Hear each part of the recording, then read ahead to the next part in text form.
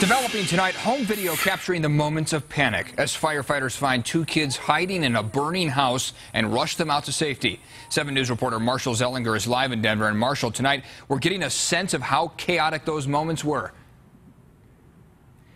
And we're learning about Denver fire procedures because during the first search of a burning home, no one was found inside. Then, during a second mandatory search, we discovered that two kids were found inside. You saw that on the home video. They were rushed here then to Denver Health, where last we were updated on their condition, it was critical condition.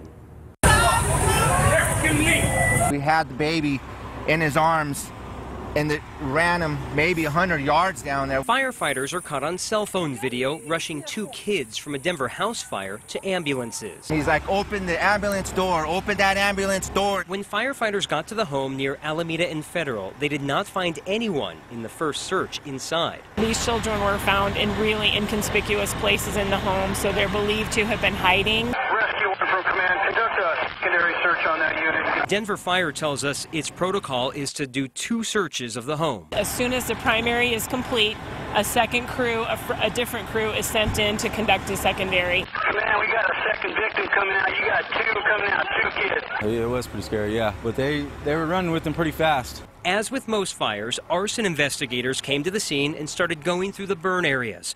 Fire crews want the message tonight to be make sure your kids know to get out of a fire, not hide. Encourage your children uh, when a fire breaks out, please, you know, get out of the home.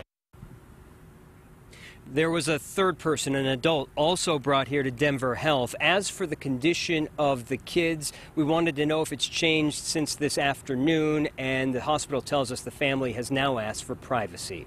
Reporting live in Denver, Marshall Zelinger, 7 News. Now, throughout the day, firefighters from all around have been replying to our story. They are encouraging you to sit down with your family and make a fire plan. Explain to your kids what to do if a fire alarm goes off and know where to meet in case of a fire.